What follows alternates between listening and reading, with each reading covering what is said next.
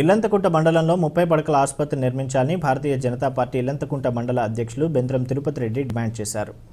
ముప్పై రోజుల దీక్షలో భాగంగా ఐదు రోజులుగా దీక్ష కొనసాగిస్తుంటే మంత్రి కేటీఆర్ పోలీస్ అధికారులపై ఒత్తిడి చేసి దీక్షా శిబిరాన్ని ధ్వంసం చేసి బీజేపీ నాయకులను మహిళా నాయకులను అక్రమంగా అరెస్ట్ చేసి కేసులు పెట్టారని ఆరోపించారు.